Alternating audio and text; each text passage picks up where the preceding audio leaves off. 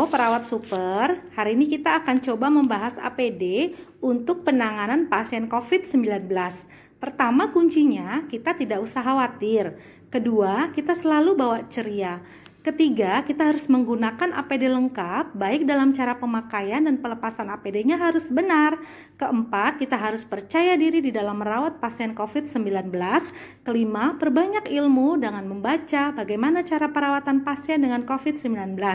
Keenam, jangan lupa sebelum dan selesai bertugas, kita harus berdoa. Oke, pertama adalah gaun sekali pakai.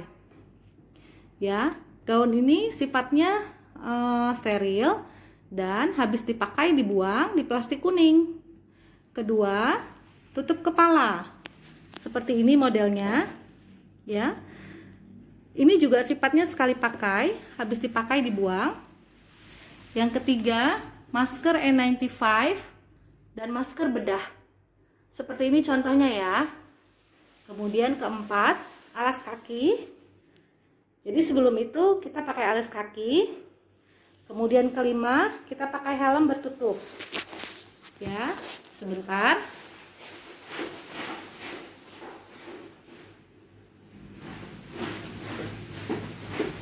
Setelah itu, kita pakai sepatu bot.